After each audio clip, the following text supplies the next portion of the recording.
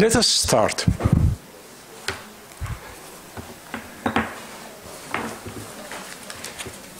We have been organizing quite a few successful conferences. The last one was the uh, Secretary General of the Arab League and former Foreign Minister of Egypt, who came and talked about his memoirs.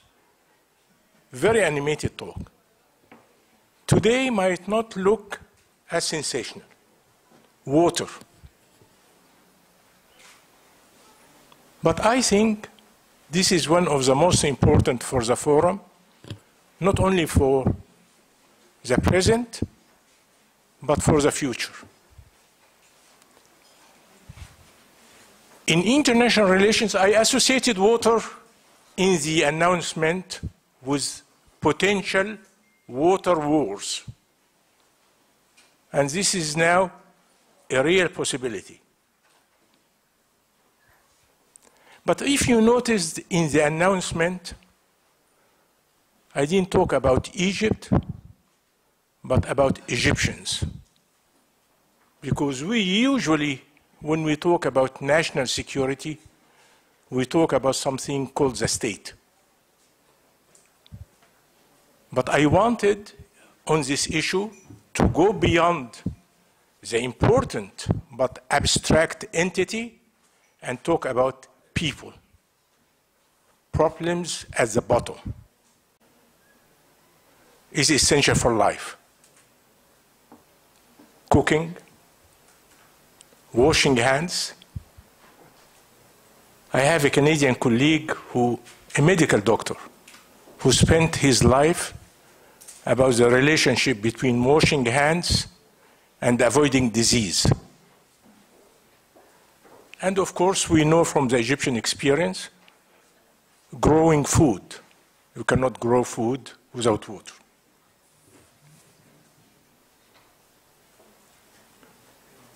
I'll just give you two statistics that impressed me in looking at this issue. Since the 1900, 1900, more than 11 billion people have died from drought. That is about 60% more than the current world population. And we know that drought is associated with displacement of people, migration, and international conflict. So you can see at the global level where the problem of lack of water and international conflict is directly associated.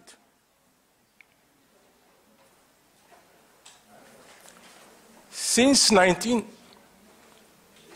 there are some seats here if people are just looking for seats.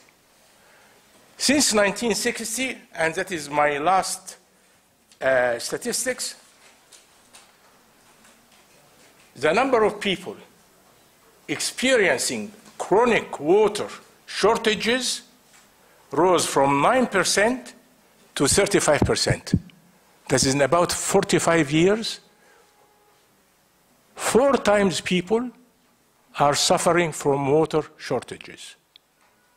This is a crisis, the global aspect of it. And the crisis is worsening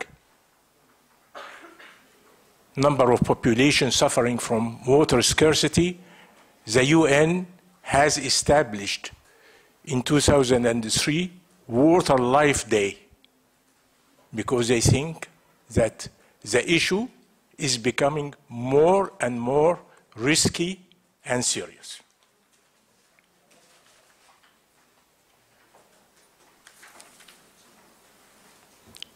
I want now to come to the Egypt Ethiopia case, which is considered actually from the outside, given the global dimension of the problem we have, is considered as a test case. Would Egypt and Ethiopia succeed in resolving the problem? And hence have indications for the rest of the globe. We will have very short film about that dimension, the direct Egypt Ethiopia aspect, about two minutes, and then we will come to the talk afterwards. The Nile, the longest river in the world, and each country that it passes through wants to harness its power. In Ethiopia, a monster of concrete and steel is emerging on the banks of the Nile. The country wants the Grand Renaissance Dam to be the driving force in its economic rebirth. It will be the largest hydroelectric dam in Africa and will ensure Ethiopia's energy independence in a country where electricity demand is rising by 30% each year. The problem, the Nile is not just Ethiopia's. And it's causing concern downstream in Egypt, a nation that has long controlled the Nile's power with its impressive Aswan Dam. To understand the potential impact of the Ethiopian dam, one has to go to the Nile Delta. It's the breadbasket of Egypt, home to 30 million people. Locals here worry for their whole way of life. When the dam will be finished, our lives will be a misery.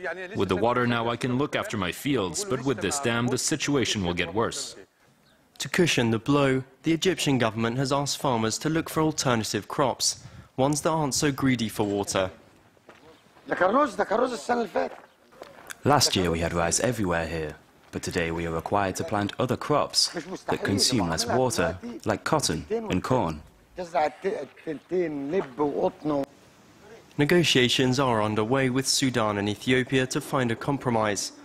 Egypt has proposed that the dam be filled over eight years to minimize the lower water levels in the river, but Ethiopia won't accept it taking longer than four.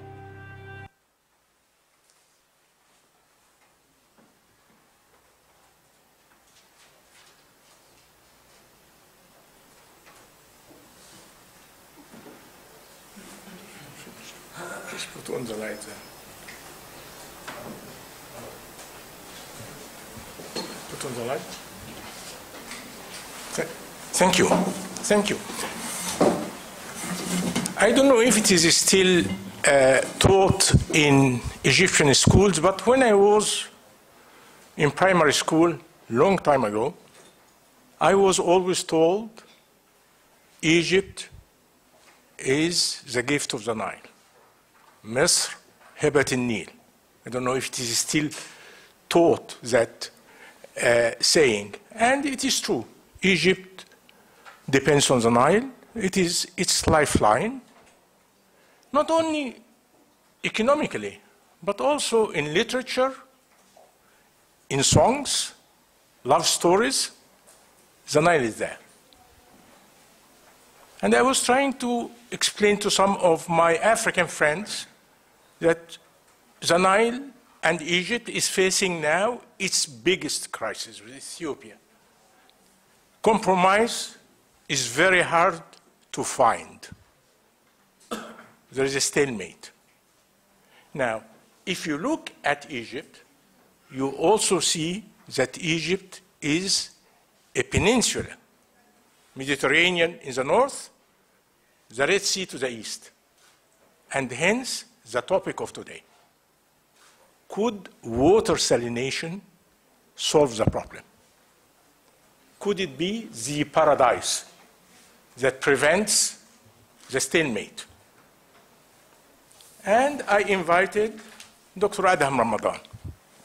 Many might think that the problem is political, and it's related certainly to conflict between two countries, an issue of international relations. And we have political scientists have lots to say about it. But I prefer to invite what is considered a real scientist, somebody who has been working in the fields of exact or natural sciences. Dr. Adham Ramadan has done his BSc at AUC, I think in 1991, chemistry and computer science. He was a bright student because he got the president's reward. Then he went to Cambridge, did his PhD in uh, physics, 1996, eh? chemistry, in 1996, and then he came back and worked in the field of environment, and I think since 19, 2003 uh, at AUC, doing research on environmental aspects, but also, and that is the biggest problem in water salination, how to reduce energy cost in reaching that level of transforming the water from the salt aspect to the freshwater aspect. You agree with me? I couldn't have found a better speaker to come and illuminate us on that aspect. I prayed Dr. Ramadan to be less technical so that we can communicate with him. The floor is yours. Thank you very much, Dr. Bahgat. Uh, it's a pleasure to be here, and uh, thank you for the introduction. Um, so, as promised, it's I'll try to make it very not well, as not as as less technical as possible.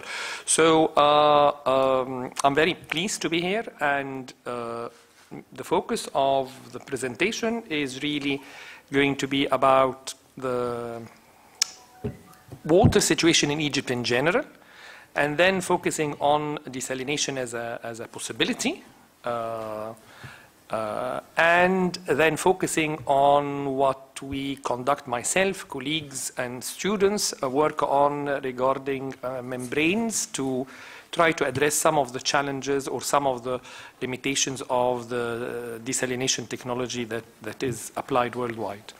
So uh, I know Mustafa will be very helping, helpful in, in moving the slides.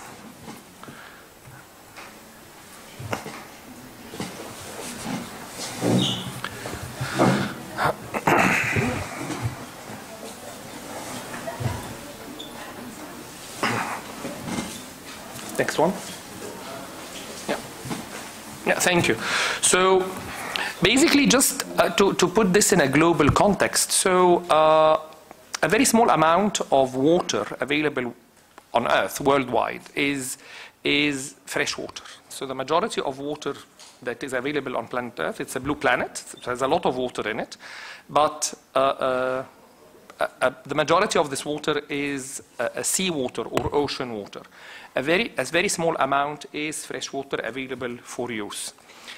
And typically, when we talk about fresh water, we're talking about uh, a, definition of water that has um, a small amount of dissolved uh, uh, solutes, solids, or salts that allows for its use in agriculture uh, uh, and as drinking water.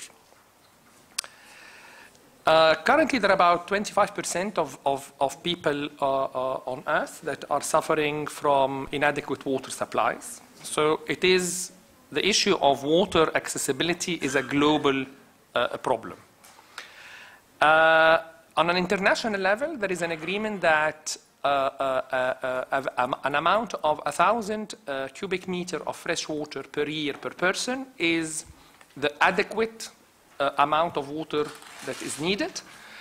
Any countries or populations having or individuals having access to less than 1,000 cubic meters per year means that they actually are, they are in a water scarce situation. There isn't enough, they are not actually accessing enough water for uh, uh, their livelihood.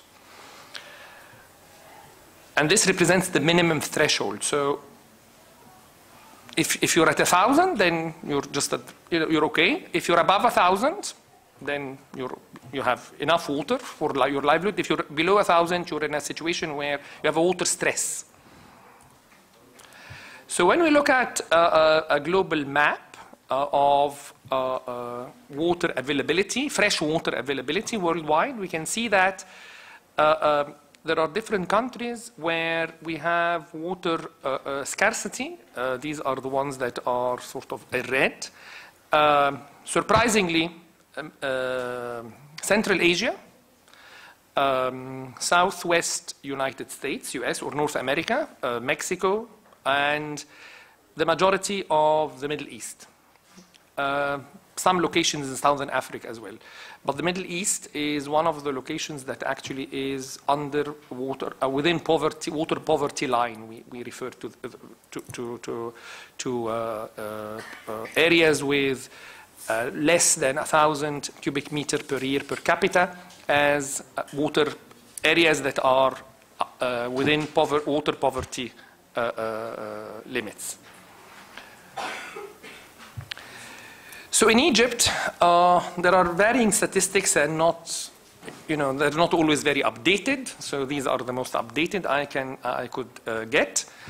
And basically, when we look at the yearly water production or resources of fresh water and the yearly water consumption in billions of cubic meters, so the majority of the water, fresh water in Egypt is River Nile.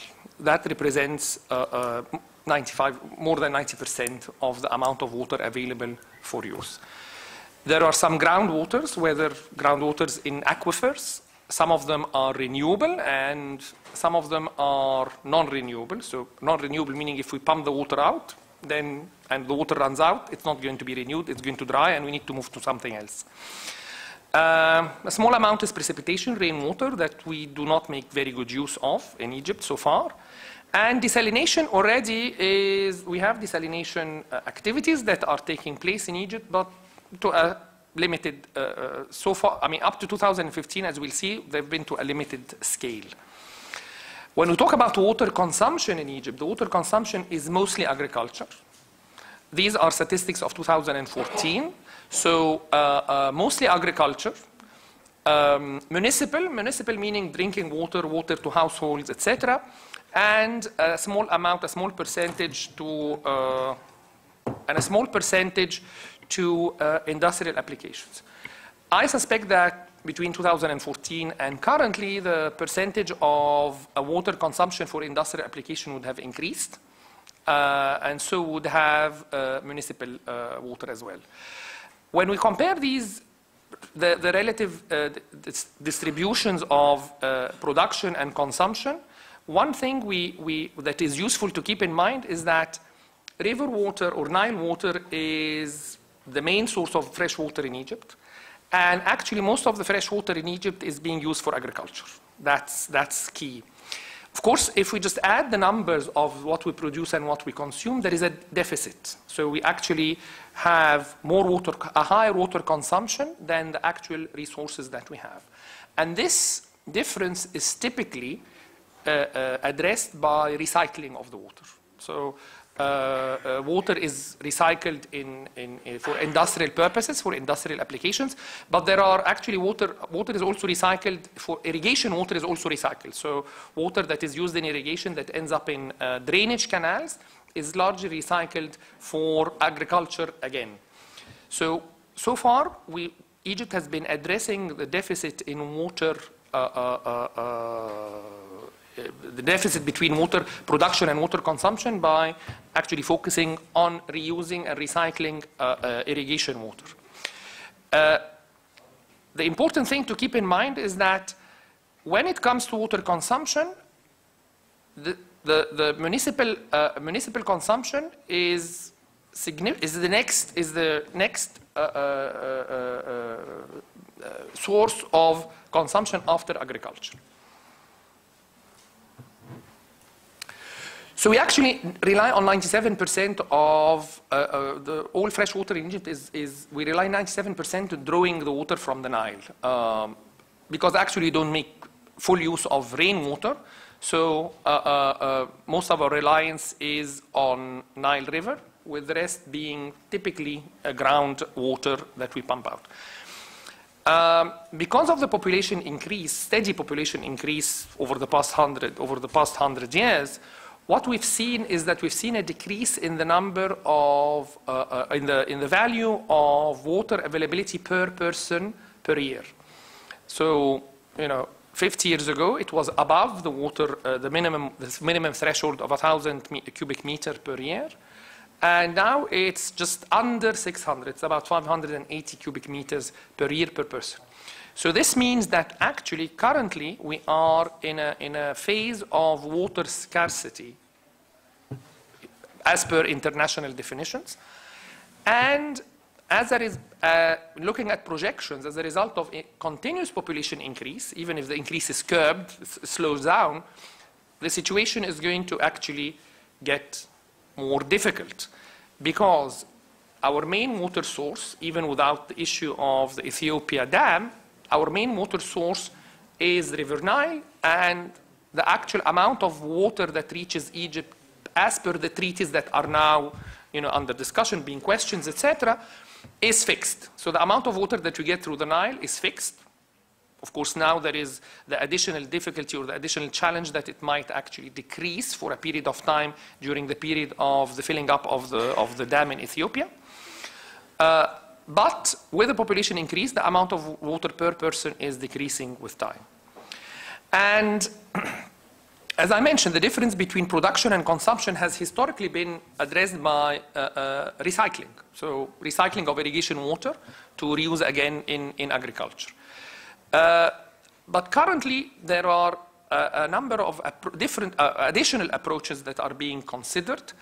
And one of them is the reduction of consumption. So basically, wor wor uh, working with uh, usages of the water consumption to try to actually reduce them or to make them more efficient uses, specifically in agriculture. So there has been, uh, over the past, I think, uh, uh five years or so, uh, an increased attention to the use of water, irrigation water in agriculture, and how to actually uh, uh, make a more efficient use so that rather than spend you know, resources on recycling, we try to actually minimize the or make an efficient use of, uh, uh, of the water, of the irrigation water. The main focus has been agriculture. Industry has been taking place already. And municipal, of course, uh, there is always, there are always uh, possibilities of trying to make efficient, more efficient use of municipal water usage, especially in the networks of water distribution, etc. Uh, recycling and reuse has been the way uh, uh, that has been applied uh, for irrigation water, and this actually can uh, continue being conducted in irrigation particularly and in industry. In industry, it's conducted on an individual plant basis. So the individual factories actually can recycle water, but it's not conducted on, a, on, a, on, a, on an area, area, area or an industrial estate uh, level. It's, it's individual. Uh, when it comes to irrigation, of course, it's conducted on a, a, regional level. I mean, you have a drainage canal that passes through a whole area, and the drainage canal, the water is recycled from it, and then it's used in irrigation in a, in a big, in a large area. And one of the alternative resources uh, uh, or sources of water that has been around for a number of years in Egypt has been uh, desalination. And desalination has really started in Egypt uh, quite a number of years ago.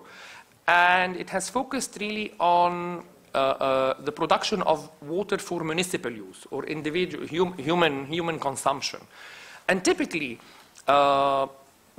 some of you might, I mean, some of you, well, the older ones in, of you in the, in the audience might be, might remember, uh, um, you know, maybe a couple of decades ago when uh, uh, um, media was, you know, covering uh, the, the, establishment of desalination plants in hotels and resorts in the Red Sea.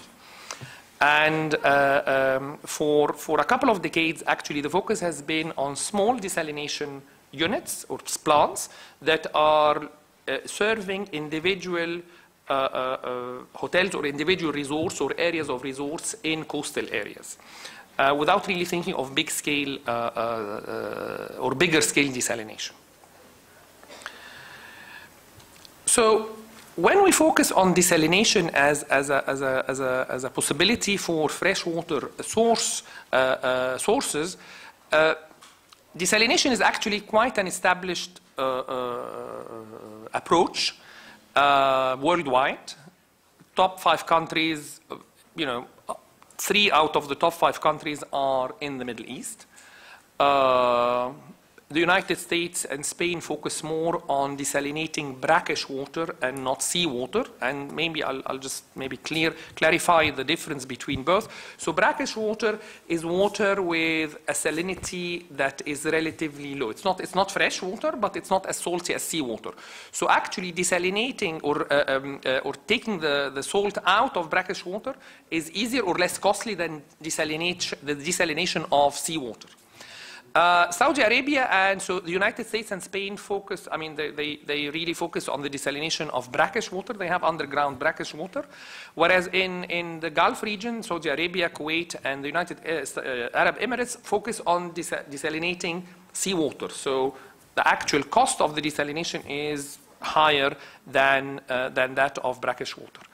And there are, when we talk about desalination, there are different techniques of desalination. Uh, there are different ways of actually separating the salt from, uh, from uh, the water. And uh, uh, these different techniques, there are, you know, the, the, the pie chart shows the, the, the main ones. And these have different energy requirements. So basically what you need to do is that you'll need to either evaporate the water, so you just heat the water up, so that you evaporate the water, you, the salt is left behind, and then you condense the water, and you have a water condensate that, is, uh, that does not have uh, salt included in it. Or you actually do successions of pressurizing the salt water across membranes or actually evaporating it as a vapor, then pressurizing it across membranes. So there are a different number of techniques that actually separate the water from the salt. And all these techniques will involve some form of processing. And the processing will have energy requirements. Of course, heating uh, processes will, will have more energy requirements than other processes. So the pie chart compares uh, uh, approximate costs of the main uh, uh, different techniques for desalination. And basically we see that, that one of the most economical, economical, or one of the most cheaper, one of the most cheap, uh, one of the most cheap uh, um, uh, possibilities is reverse osmosis. So reverse osmosis, it has a cost, so it does have an energy cost, and this translates into a, a money cost, dollar cost. But it's one of the techniques that, or approaches that actually require less energy, or uh, relative to the others. So even though reverse osmosis as a desalination uh, uh, approach does require less energy than others, compared to naturally available water, it does have a cost. So for example, when, when we actually, for the case of Egypt, when we're comparing the cost of desalination through reverse osmosis, which is the most cost-effective uh, approach uh, uh, uh relative to Nile water, of course desalination is more costly than the availability of Nile water that is available uh, naturally. So we need to actually take this into account or keep this into account that, that if you compare desalination through reverse osmosis with other desalination techniques is the least costly. But when you compare it to naturally available water, then of course it has a cost that we have to actually account for. Uh, so desalination within the Egyptian context is that, as I said, you know, uh, for the past few decades, a couple of decades or more, there has been a focus on reverse osmosis. So considering that uh, uh, uh, it costs less, if, you, if you're going to desalinate the water, the, the reverse osmosis is the less costly option. So this has been the focus of the applications in Egypt at a very small scale to start with, or historically at a very small scale. And uh, uh, in the past decade or so, there has been a trend to develop plants that are beyond resort level or hotel level, so small plants that will serve small municipal areas uh, in the Red Sea and the North Coast. And uh, up to 2015, the actual total capacity for all the desalination uh, uh, uh units in Egypt, reverse osmosis desalination units, was about 300,000 cubic meters per day. Uh, if you're actually wanting to make a comparison of what you need, if, if, if, if we actually, if the total consumption of Egypt is 80, uh, 80 billion cubic meters per year, and 10% of this are the uh, municipal consumption, if you divide it by the number of days in a year, 360 days per year, so actually end up getting about uh, uh, what, what is the actual need for, uh, for the number of cubic meters per day as, as drinking water. It's about 3 million. So it is a significant, uh, sorry, it's about 30 million, so it's a significant amount. So basically, 30 million cubic meters a day is equivalent to all the, all the, uh, the, the, amount of water that is consumed in Egypt for municipal purposes. So when you talk about 30 million and 300,000, of course, the difference is, is huge. So uh, the Ministry of Irrigation, uh, uh, you know, they develop uh, plans for water resource development and in 2017, they started embarking on developing the plan for 2017-2037, a national water resources plan. And in that plan, the, the, a target was set to actually produce uh, uh, uh or reach a production of a million cubic meters per day by 2020, which is very soon. And currently, there has been uh, uh, an increase in the number of uh, reverse osmosis desalination plants in Egypt. And the current productions are about 500,000 cubic meters per day. So we're very, we're, you know, halfway there. And I think with the rate of the, the expansions of the plants, we'll actually get there uh, with the target. The issue, of course, with water desalination plants is uh, the cost of it. And uh, the economy of scale is very, very important. So basically, it is more cost effective to have a large desalination plant that will produce, that will have a large uh, volume of production than a number of smaller ones. And simply by, you know, the, some of the fixed costs of, the, of, of building the plant, of building the intake, building the, the, the, the wastewater that comes out, the salty water that comes out, etc. So just the economy of scale indicates that it is far more beneficial or far more uh, cost effective to actually have large desalination plants than smaller desalination plants. And that, and hence the trend, uh, the national trend or the national priority now to actually focus on the build, building on law of large desalination plants in different locations at the Red Sea and uh, uh, the North Coast to serve individual cities. So you have a whole city like Al Alamein Gidida, for example, is served by the desalination plant that actually will provide the municipal water for the entire city. And one of the issues when it comes to the, the operation of reverse osmosis plants is the cost of operation. And the cost of operation is, of course, many things, it has many components in it. But one of the most important one is the energy cost. At the end of the day, if you're going to be uh, uh, uh, using uh, uh, electricity, for example, to drive the water across the membranes in reverse osmosis to actually get rid of the salt, you need energy. And the energy cost is a determining factor about the economy of it. It's still going to cost more than naturally occurring water, which is in the Nile, but you actually want to minimize that energy cost to minimize the cost of the production of a cubic meter and hence uh, uh, uh, uh be able to make it uh, um, uh, more widely used and more economically efficient than as you go. When you talk about energy costs, of course, it depends on the source of energy you have. Uh, in Egypt, in the recent, recent discoveries of, uh, exploration discoveries of the natural gas reserves in the, in the Mediterranean, allow uh, uh, large amounts of natural gas becoming available at a relatively low cost.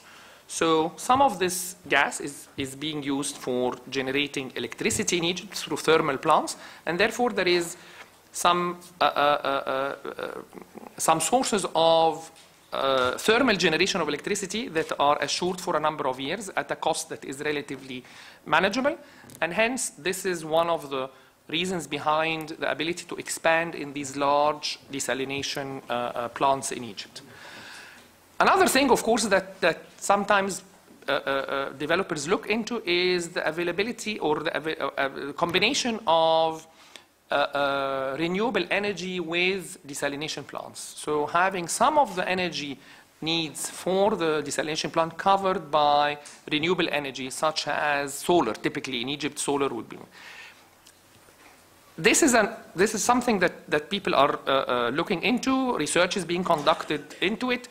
It's an established, it's a established, I mean, there isn't any technical novelty about it. You just need to have solar panels and you uh, relate them to the des- desalination plants you have, and it would work. But really, the, the, the research that is going on is about, again, the economy of scale. Can we actually have very large desalination plants relying mostly on or uh, uh, significantly on solar energy or not? So far, the successful models have been having remote units, individual units, on the small scale regarding water desalination that actually are or can be operational mostly by solar energy. But larger scale plants have not been yet uh, uh, established and you know, the, there is a need to, uh, to, to, analyze the cost of how to make this uh, viable. So just uh, a very, very brief uh, summary not technical, Dr. Bahgat, or not, I'll try not to be technical at all, about what, what reverse osmosis is. So basically, reverse osmosis is a process by which you actually obtain uh, fresh water from water that has a high uh, concentration of dissolved uh, uh solutes in it. Either it's brackish or a seawater. And basically, you do that through pressurizing the membrane. You just put subject, uh, pressurizing the water through the membrane. So we all know what osmosis is. Osmosis is a naturally occurring phenomenon that you have membranes uh, that uh, across which you have water that passes from a low concentration to a high concentration of salt. That's the basis of a lot of our cellular um, processes, chemical processes uh, in the human body, but also the way plants absorb water from the soil, etc. So this is the naturally occurring process, which is the osmosis process. What we're doing is that we're doing reverse osmosis. So we're actually forcing the water to go from the high concentration salt to a site that is a low concentration salt. And this means that the process is not going to occur uh, spontaneously, naturally, and you'll have to force the process to do that. And the way to do that, you actually pressurize the water, you push the water through the membrane. And to pressurize the water through the membrane, you'll have to exert significant large amounts of pressure, and this actually is what consumes the energy in reverse osmosis. And basically, you use energy to produce pressure. The pressure allows you to get a water permeation through the membrane and salt being retained by the membrane. So what the product is, is water that is fresh on one side and water that is highly concentrated in uh, uh, uh, salt, which we call brine. The disposal of brine solution is, needs to be conducted in a, in, a, in a clever manner because you cannot just throw it back to the sea because if you do that on a, long, you know, on, a, on, a, on a large scale, what you'll do is that you'll increase the salinity of the area where you're disposing this water and therefore you're changing the ecosystem env with environmental impacts, but also you might also be increasing the salinity of the water that you're going to be drawing in eventually. So this uh, uh, uh brine disposal is one of the issues that are uh, um, uh, key issues to make decisions on. So basically, when we talk about reverse osmosis and membranes, we need to uh, uh, uh balance between two uh, uh, trends. One of them is water permeation.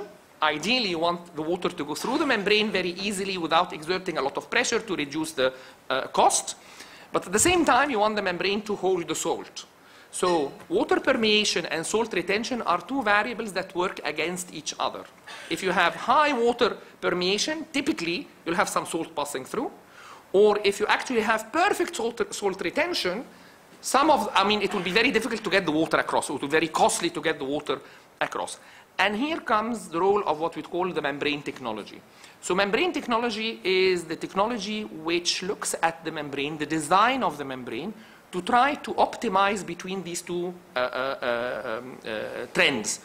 How to get high water permeation so that you minimize the energy cost for uh, reverse osmosis, and at the same time, how you actually can achieve high salt retention to obtain the fresh water that you want. So basically, what happens through the membrane is that the membrane is used, and this is a cross section there, and you actually get the salt water on one side of the membrane, you pressurize that, that side, and the water will come across, the salt being retained on the one side. And this is for an, with an energy cost uh, uh, that is significant in the operation of reverse osmosis. So when we talk about the membrane itself and the membrane technology, typically the membrane has different properties that people focus on. And typically it's what we call the porosity of the membrane. The membrane is, it's typically they are polymeric materials, so they are uh, a, a type of a polymer. To the naked eye, they appear like plastic-like. They're not plastic, they are different. I mean, plastic is a polymer, but they are different types of polymers. And they actually have pores. They are very, very small holes in the membranes that are not necessarily uh, um, clear to the, to the naked eye, through which the water passes. And that's the whole idea of the, of the membrane with the pressure and the salt retention. So the membrane has different parts in the membrane that will actually help water pass through, but salt to be retained. And typically there are different sizes of pores or holes in the membrane that will allow, the big holes will allow the membrane, the water to pass through. The smaller holes will actually retain the salt. And the whole idea of membrane technology is to balance between both in the composition of the or the structure of the or the morphology of the membrane. You want the big pores that will let the water through, and you want the small pores that will actually have the salt retained. And it's the balance between both that optimizes the operation of the membrane. So membrane technology is something that is monopolized worldwide. There are a number of main companies that are actually working on membrane technology, developing the membranes, and there are uh, a handful of, of suppliers of the membranes that are used in reverse osmosis. And they actually, they keep their, uh, uh, their, their sort of trade secrets very, very, uh, uh, they guard them very, very dearly because it's, it's a lot of it's a, it's a, it's a, it's a sector with a lot of uh, a lot of uh, uh financial uh, uh, remuneration and there are lots of research that is being conducted by these suppliers, but of course not necessarily shared or published because they actually want to be, it's mostly covered by, uh, by, uh, by secrets of trades that, that they would not divulge. That's one of the things that is worldwide uh, uh, uh, a focus of interest in research regarding membrane technology and membrane design is how to actually manipulate the membrane to make it pass the water more easily while still retaining all the salts. And there are different ways of, uh, uh, of approaching this. The way we, we, I mean, there is a group at AUC that works within, within with this, uh, between chemistry and mechanical engineering, with, with students involved with different faculty members.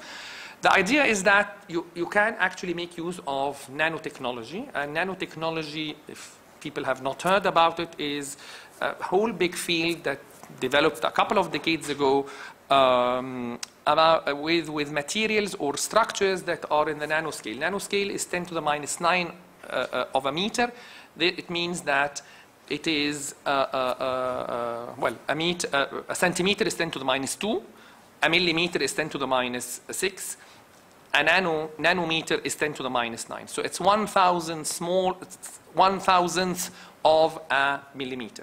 So there are structures that exist at this level, and these structures can actually, or some of them, have properties that would change or uh, improve the properties of the membrane. So the idea is to incorporate these structures in the membrane structure to actually change the porosity of the membrane and therefore alter its performance.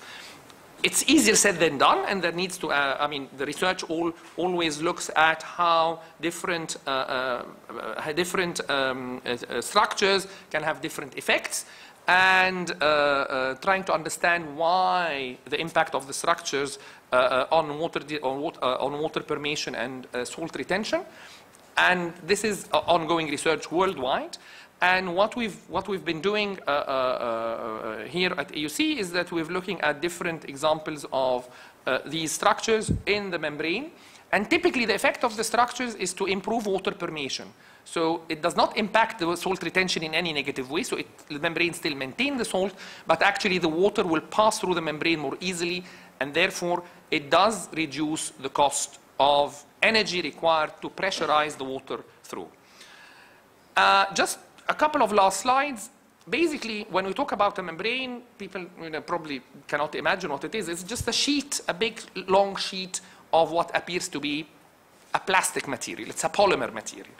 These sheets, you know, and this is what we in the lab deal with. Uh, we don't we don't deal with very large sheets. We just deal with segments to test them. But basically, in in water desalination units, these sheets are rolled up in cartilages. So you have water uh, uh, membrane cartilages, uh, cartridges that are actually rolled up in a way so that you have an inlet and an outlet. Your water goes in, you pressurize it, and the water, fresh water comes out, and you have a secondary outlet for the brine solution. So typically this, this image shows how a membrane is rolled up in a cartridge, and the cartridge can actually have different dimensions.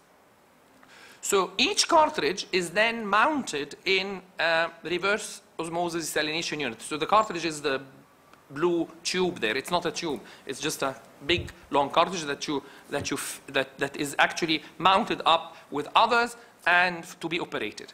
The beauty of it is that the cartridges and the units are modular. So you can actually just put one next to the other, next to the other, next to the other, and scale it up to a significant scale. So, you know, to end up having something looking like this. And this is a large desalination unit where you have a lot of the cartridges are mounted together and therefore the throughput of the volume of water that is desalinated from a plant like this can be actually quite uh, uh, uh, significant. So maybe to conclude before we stop and have uh, questions and discussions is, you know, I'll go back to the, the, the, the title, Egypt's water crisis. And I, you know, I've ch changed it a little bit. It's not, is desalination a way forward?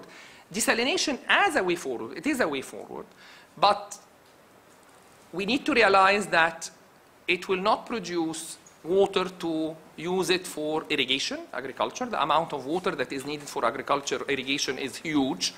It's not going to be producing a lot of water that we can use for a lot of industrial activities because it's costly, but it is definitely a way forward to actually produce water that is used for, that can be used for municipal applications and, and, and waters that can address at least part of our municipal water needs.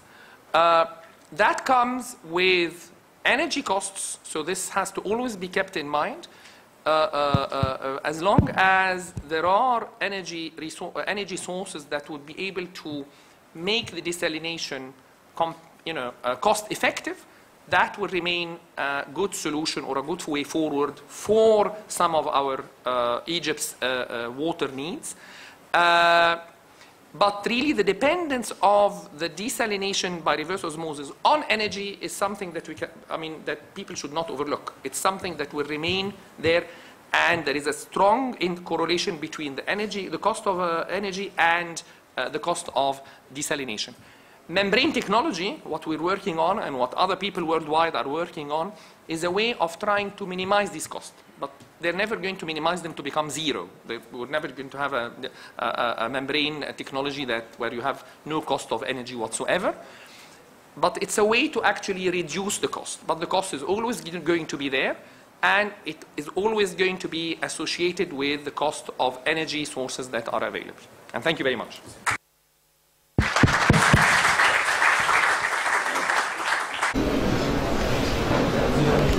Dr. Bishai. Is there a microphone? Yes, there is a microphone. Just come. Thank you very much, Dr. Korany. Thank you very much, Dr. Adham. I really appreciate the utmost clarity with which you explained everything. Even I'm not a chemist, but it was phenomenally clear to me. I just want to say a few things as an economist someone who lived in Sudan and who worked in agriculture in the FAO since 1974. Yes, you pointed to an important fact that whatever still we do with desalinization, it will still have a limited effect on, compared to our needs.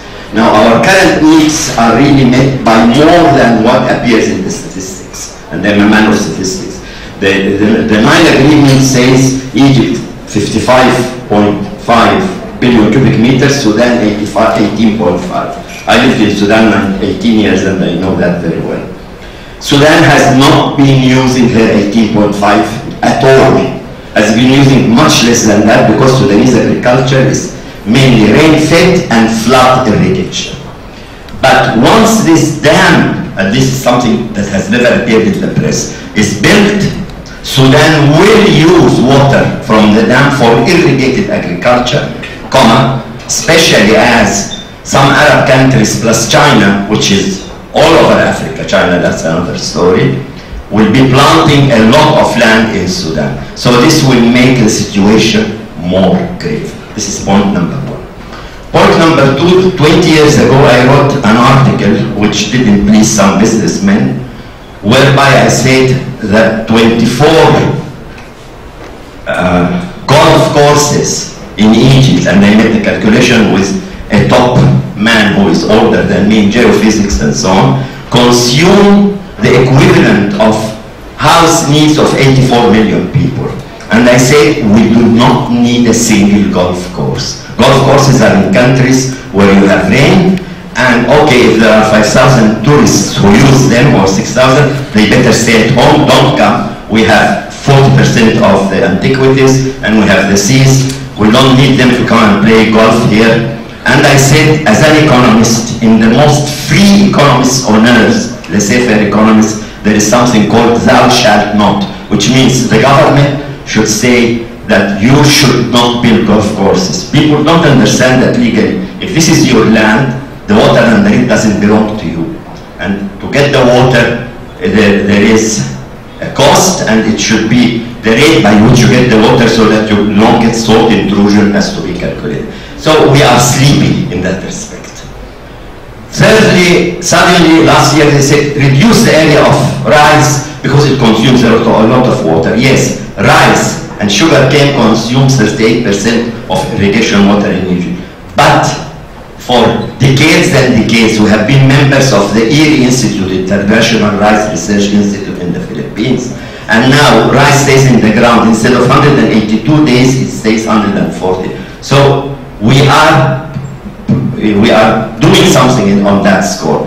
I just want to mention these facts that when they come to this issue, the decision-making process at the level of the country should include people like you, other people, people to look at different aspects like the ones I'm pointing to, to know that the legality of the situation, that if you drive Cairo-Alexandria Road, all this Nigila, this green thing, this consumes massive amount of water. The water under the land Mr. X owns there doesn't belong to him.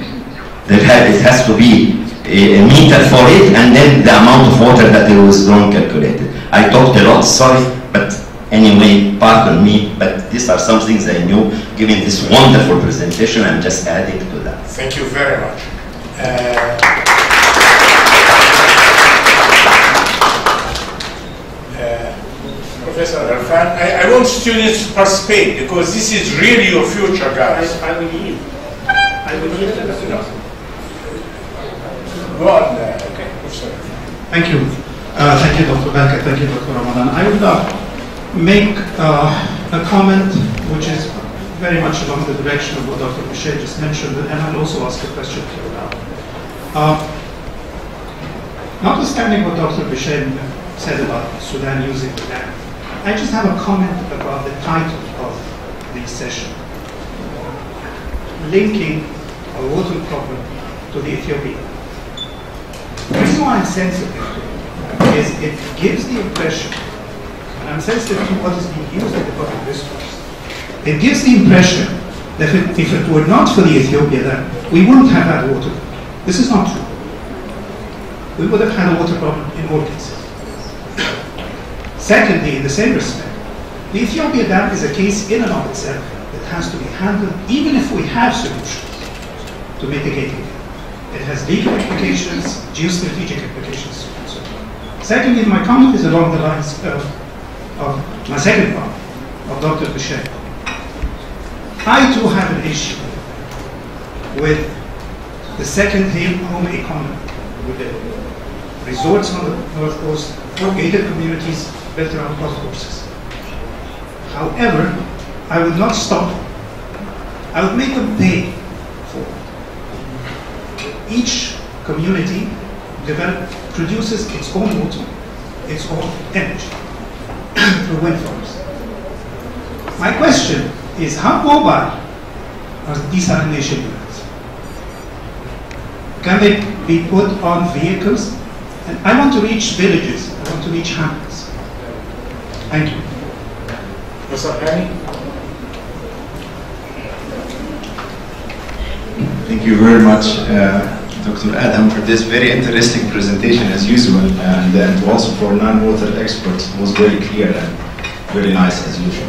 Um, just have some comments, and maybe if you allow me to correct a couple of things that publicized in the media all the time without any basis. So, for example, uh, it was mentioned in the video that Egypt is in favor of filling the dam in eight years, and Ethiopia is insisting on four years. And in all the news, people are talking about seven years in Egypt, three years in Ethiopia. This has nothing to do with the reality. Um, Egypt never asked for a number of years. Egypt submitted a proposal recently that's very clear structured in a way that the dam is filled based on stages. And the stages are connected to the hydrology of the dam, which means when you have a wet season and you have high flood, please take as much water, not as you want, but think on the downstream countries in a different scientific way. I'm not going to go through it. But if there is a drought phase, like the phase that we faced in Egypt in the 80s, uh, we had nine years of drought that the Egyptians didn't feel, and without that uh, Aswan Dam, we were going to suffer.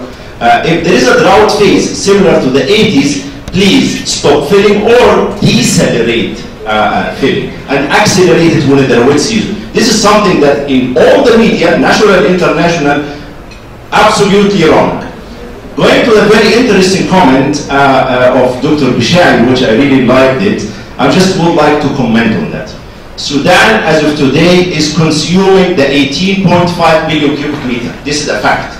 So Sudan is not letting any more water to Egypt. This used to be the case, but today it's not the case anymore. So the numbers that we and the Sudanese measure in collaboration, which we hope to happen one day with the Ethiopians, is now confirming that Egypt gets only its 15.5 uh, billion cubic meter.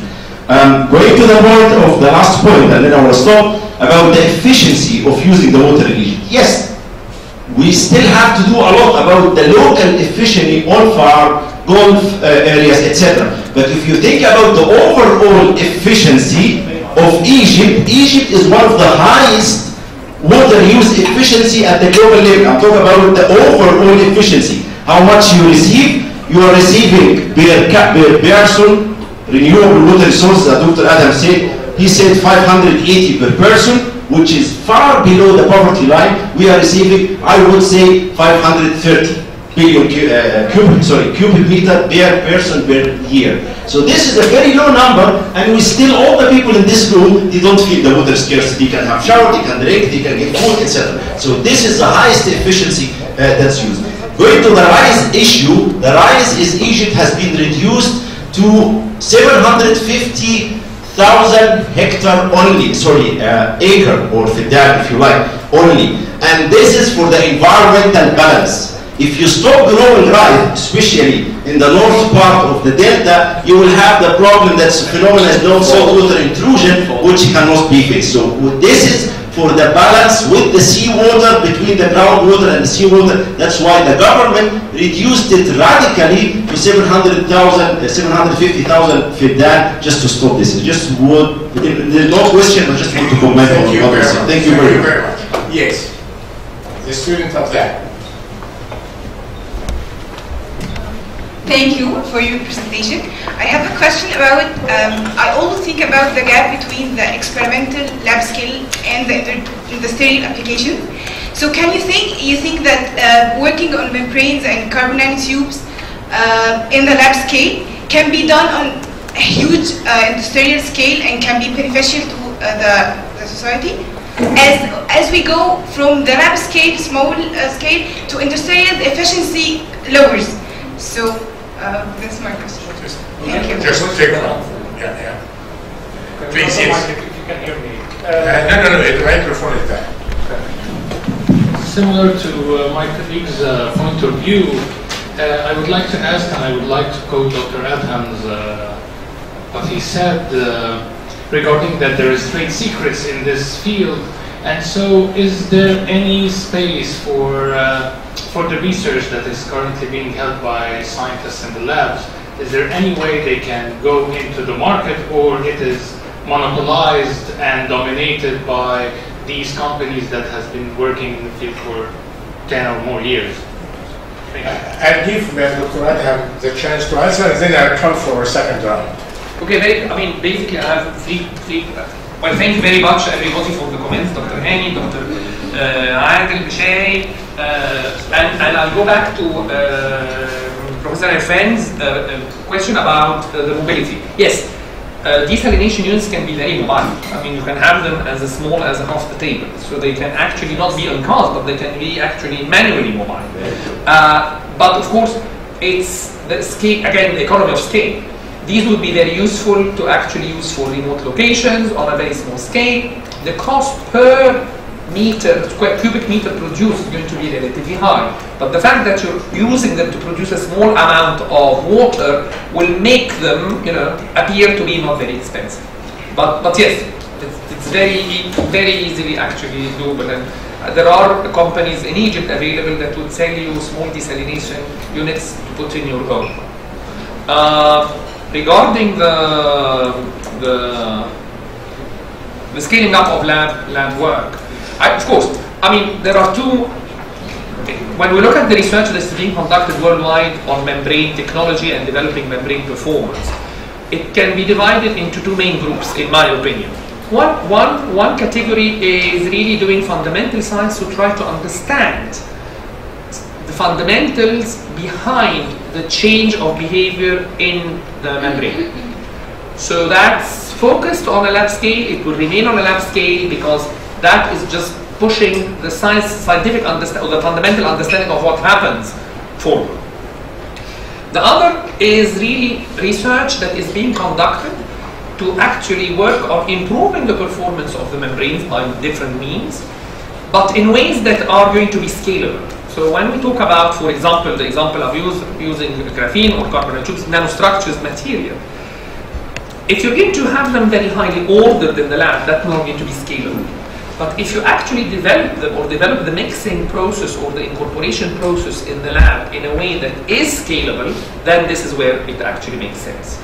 So not everything in the lab that is being conducted is scalable up, but if one of the aims of a particular investigation is to have a scalability uh, uh, uh, component to it, then this is taken in account in, in, the, in the actual research conducted to start with. So some of the research, not only ours we work, we work on here, but also internationally, is scalable, relatively, I mean, easily scalable.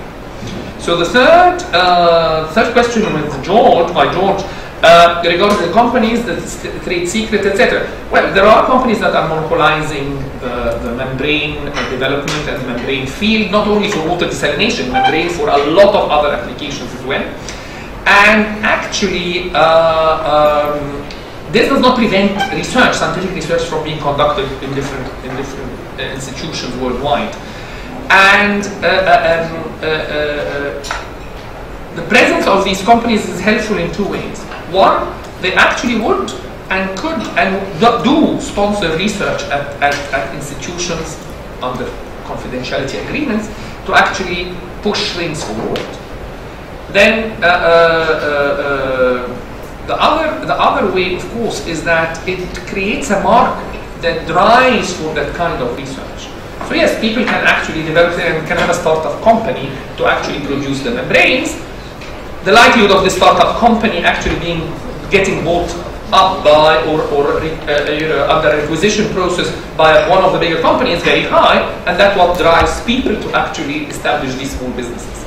So they actually, the big companies with with, with the need the, and, the, and the applications and the money will actually drive people to either they fund things directly or they drive researchers to actually push this forward because there is a need for it and there is a money into that field, into that segment of research. Second round, you raised your hand. Yes. Uh, the microphone is coming. Firstly, thank you for a wonderful presentation. Um, I have a question. Um, there's two types of desalination, thermal and membrane-based. Majority of what I understand is using thermal, which uses fossil fuels, so which contributes to global warming. So aren't you solving one crisis by contributing to another? So like, how does that balance out, or what are people trying to do to like minimize the effect of fossil fuels until membrane-based becomes more global? Very specific question. Yes.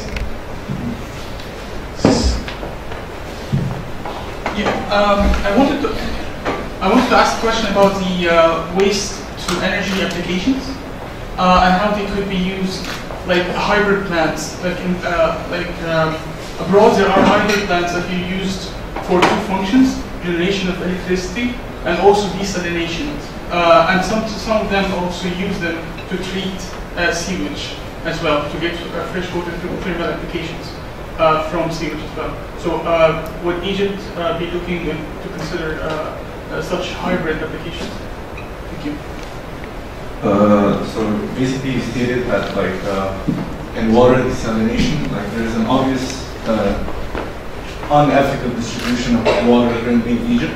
So when we're talking about like the, desalination program, so who's going to make this? Is this like private sector or the public sector, and who's like and who will re- redistribute this form of water to continue not like get abused by uh, like I don't know like the top one percent of Egypt basically.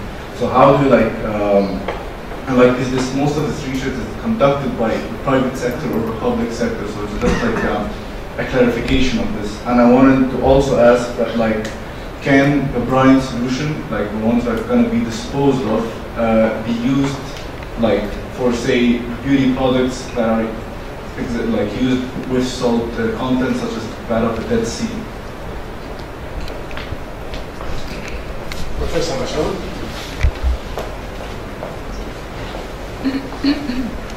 Thank you. I, I really enjoyed your presentation. Uh, quick question. Uh, the main message I got was that desalination is not economical because it requires a lot of energy. And uh, I, I was just wondering, uh, is it possible to reduce the cost of desalination by, say, uh, by Egypt, Egyptian government negotiating cheap energy from the dam to power large-scale desalination plants in Egypt? Is that a possibility? Okay. So, uh, the issue of fossil fuels. Well, you're right. Whenever you're actually going to be using uh, uh, uh, electricity, you need to look at if you if you want to look at the environmental, the global environmental impact or the overall environmental impact of the generation of electricity. You need to look at what you're actually using the what are you using to produce the electricity. So any thermal power plant is a, a plant that generates electricity but does contribute to uh, emissions of uh, uh, uh, gases that might contribute to global warming or climate change or you know, etc. So yes, this is inevitable. So uh, of course, desalination by reverse osmosis requires less energy than ther- direct thermal processes of desalination. Uh, for example, direct thermal processes of desalination is is still common in or commonly used in Saudi Arabia because of historical reasons, and they used to actually burn the heavy fuel and actually uh, just do this by evaporation. But moving forward, you can actually incorporate uh, uh, renewable energy resources into the use of the electricity production in general, and that could be used towards desalination. But at the end of the day, there will always be, as long as you're producing electricity from thermal through thermal processes, for regardless of what you're going to be using this electricity for, for desalination otherwise, it is going to actually have an environmental impact in the amount of carbon dioxide emissions that it's, it's actually uh, that is, uh, generating. So this is regarding fossil fuels. Waste to energy applications, yes, I mean, why not? I mean, again, the question is mainly, uh, uh, or primarily geared towards the source of energy that you're going to be using for the desalination. I mean, the source of energy, again, can be either thermal by, by burning heavy fuel, by burning uh, oil, by burning natural gas, or renewable, or one of the alternatives could be waste to energy uh, uh, uh, transformation. Yes, this is this is a possibility. And to my um, to my knowledge is that there has been a recent trend in allowing uh, uh, uh, waste to energy conversions under certain conditions in cement factories, not, globally yet in Egypt. There is always the, the I think generally there is always the, the, the, the risk or the fear that if you're burning uh, uh, uh, waste, you and the process of the burning is not properly monitored and not properly conducted, you're not only going to be producing carbon dioxide and other uh, NOx and SOx and different, but you might be producing significant air pollutants that, that would have really negative impacts. So I know that in, in Northern Europe, uh, waste to energy is something that is very well established. Uh, and so it shows that it can be done technically, but I think the, the, the issue or the, the, the, risk that needs to be calculated is what are the regulations that you have in place to actually do that, and how are you going to ensure you monitor the entity of the, the plants that, that conduct this to ensure that they actually abide by these regulations. It's, a general issue that, that we think of, we have in Egypt in different aspects of, of life, not only uh, that. But it is a possibility, yes, you can, you can do it. Uh, uh, the water, the sort of the desalination plants in Egypt. Now the large ones that are being developed in Egypt are public-private partnerships. So typically they are governmental, that are government entities, the Ministry of Irrigation and the Ministry of uh, uh, Housing, that actually get an agreement or partnerships with private companies that actually uh, uh, uh, get involved. And th this means that the economy of or the economy of a desalination plant that is a public-private partnership would need to be such that the private sector would actually be willing to invest money, and so there would be some, well, not some, there needs to be in terms of their investment.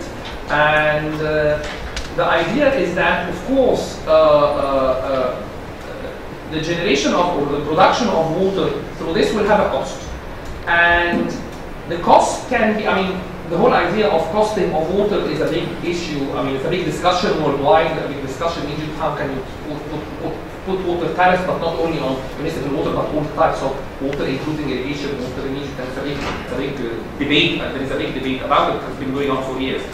But the issue is that, of course, you want to actually, uh, uh, um, uh, it's very difficult to, to, to limit the use of water produced from desalination plants but then if you actually uh, uh, price the cost of a cubic meter properly to cover the actual cost of production or slightly more, if somebody would like to actually uh, uh, use it for a particular application that is, you know, for example, having a lawn in their garden, I mean, a tariff can be put as a, as a, as a sort of additional uh, on the cost to actually cover it and allow you to not only operate but expand the desalination. So uh, this is another uh, thing. The use of brine. Somebody asked about the use of brine as well. Okay, the brine is is a, a, a, a highly saline uh, uh, solution, but its salinity is not high enough to be able to precipitate the salt out of it easily. It can be done technically, but with a very high energy cost, even higher than that of desalination. So the brine needs to reach a percent, typically the brine is around 12, 12 to 15 percent concentrate, uh, percent uh, uh, by weight salt. For the salt to separate uh, economically, it needs to reach about 24 percent. So you can do, there are companies worldwide that actually use membrane technology to concentrate brine. So they will actually use this to concentrate the brine from 12 percent to 15 to 18 to 24 percent. And once you have a brine at 24 percent, then you'll be able to separate the salt out at a, at a, cost-effective uh, uh, uh, sort of ratio or value. Mahmoud asked about uh, the desalination economics. I think Professor Mashal can. Yes, yes, yes, yes, sorry, sorry, yes, yes, sorry. So, desalination is not, well, desalination is cost effective. I mean, it depends on what you're comparing it with. If you're comparing a cubic meter that is of water that is produced through a desalination plant relative to a cubic meter that you're getting from Nile water, of course one is more expensive than the other. So actually, desalination water has a certain cost. Uh, if you do it by reverse osmosis, the cost is typically lower than other alternatives that are when you do direct, direct thermal heating uh, uh, processes. But it is the cost is actually very much associated to the energy cost that, that, that, that, that you have, operation cost as well, but to the energy cost. So it is not possible to, to have a general statement saying that you know desalination is something that is possible or not possible. It's possible, but it has a certain cost really associated with it. And the cost is not the same internationally. It varies from place to place because the amount of the salinity of the water that you use, the, the, and the availability and the cost of uh, fuel or electricity or whatever energy that you have are, are big factors in determining the cost of the cubic meter that you're producing. So, uh, for example, in the Gulf, it's working and it has a certain cost. They have no alternative, so that's that's that. Here in Egypt, the, the, the, approach has been, I mean, it's, it's changing now significantly, but the approach has been, it's comparable to Nile, where, where you have minimal cost to actually get Nile water. And definitely you can have different resources, uh, sorry, energy sources to actually uh, uh, produce the, produce the, produce the, the desalinated water. The easiest, if you're going to do thermal, the easiest one is natural gas, especially if it's available. Natural gas is, you know, typically cheaper than any other sources.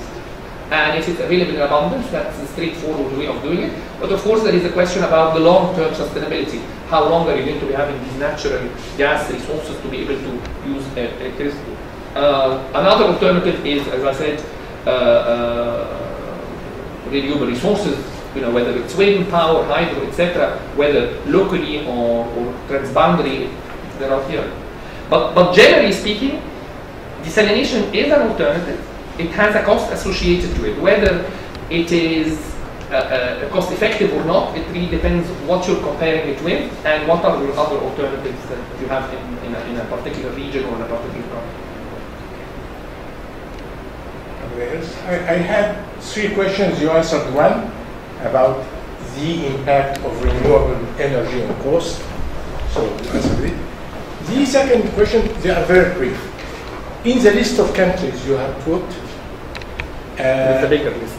Yes, yes. No, no, but, but Israel used to pioneer desalination. Did it change policy and why? And number three, a question that hasn't been raised here is desalinated water less in quality than natural water? Some people are raising the issue about some health aspects of desalinated. Okay. So uh, no, Israel is is actually still pioneering. It's one of the it has one of the most advanced research uh, uh, uh, uh in water uh, desalination in membrane technology. In water, in water desalination, membrane technology, etc. And Israeli scientists, whether they are doing the research in Israel or in the US, actually are pioneering this.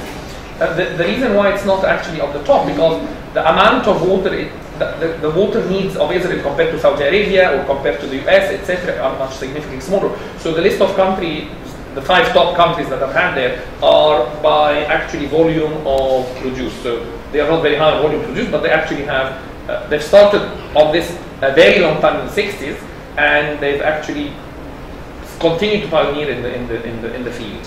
Um, the other thing related to the health issues, well, it depends on how, no, no, quality of water and, and health issues. I mean, it really depends on whether you desalinate it properly or not.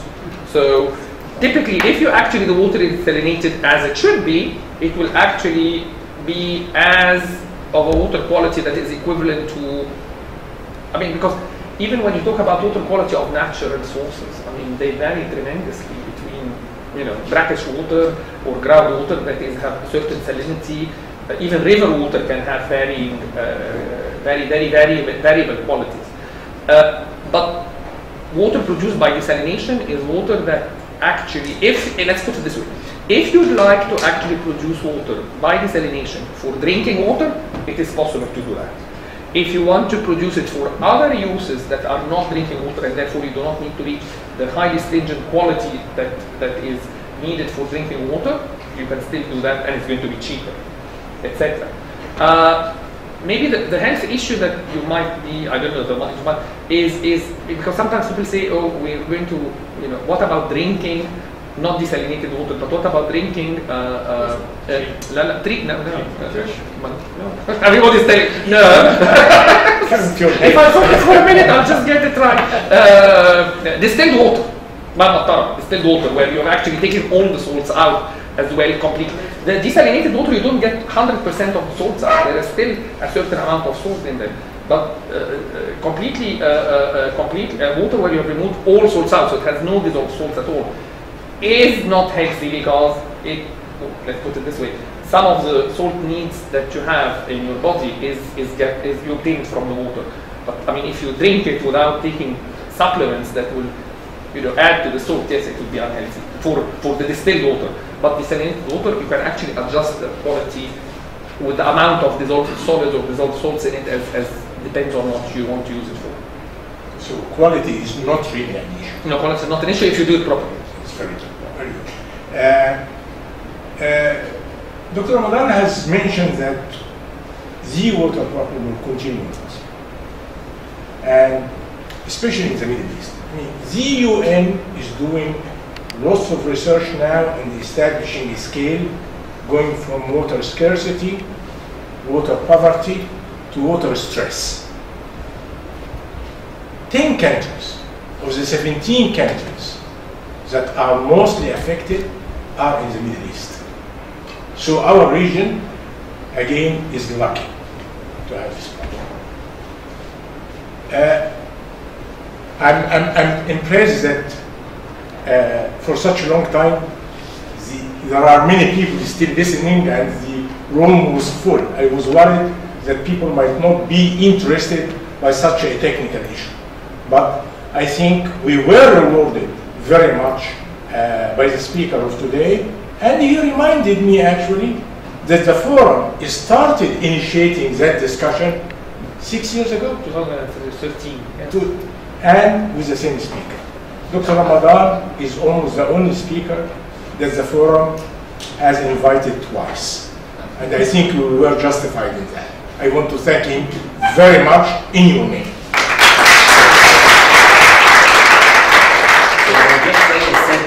one sentence. Sure. Uh, the microphone مش ما- مش مهم. أنا I just want to say thank you, thank you, that this serious meeting of today, which is so rich in knowledge, I just would hope that my country will handle this issue the way that it is being handled at this level in the sense of inviting people from different uh, disciplines different to, to discuss. The point that, that mentioned by this professor who was sitting here about sit the papers writing four years, seven years. This is a joke. The idea is the intensity. For example, this year the rains were very heavy. There, were, was in the 80s nine years, one after the other, where there were any rains. So it is not number of years. The amount of knowledge that needs to be gathered is a lot. And I would go with a book that was published by Sir Winston Churchill in 1898, where the first page in that book says the follows. The Nile is Egypt's river. And then in, in, Latin, in, in German, out Nilus, out Egypt. If there is no Nile, there is no Egypt. Okay. Thank you. So the political aspect is important.